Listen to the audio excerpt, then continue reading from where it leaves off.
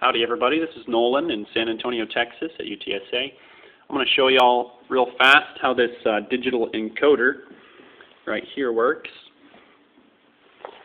This is a PIC demo board called PICDEM uh, and basically I have uh, two LEDs uh, connected to the encoder so that when the um, the pins they're connected to are normally open.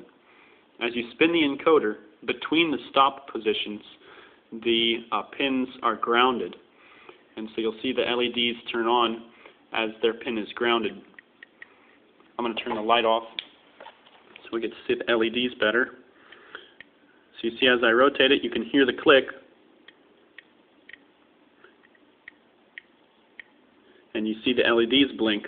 I'm going to rotate it very slowly, and you'll see that one turns on before the other one turns on, and then it turns off before the other one turns off.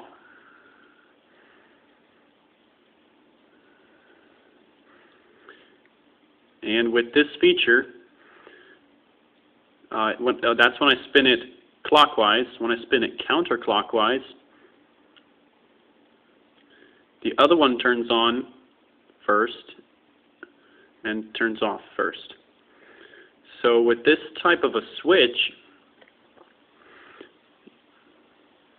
you can program your microcontroller um, to either go up or down. So each click is one unit of magnitude, and depending on which which uh, pin was on first, uh, it is uh, up direction or down direction.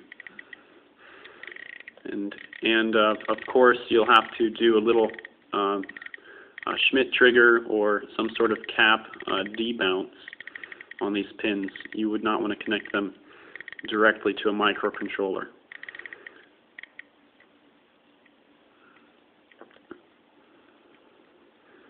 This particular encoder uh, was made in, in, Mexico. It has uh, 24 positions. You can solder it to a, a um, you can solder it to a prototyping board. Uh, it has just three pins: ground, uh, line A, and line B. Uh, looks like it's going to be simple to use. Um, hope this was informational to some of y'all. Enjoy. Bye.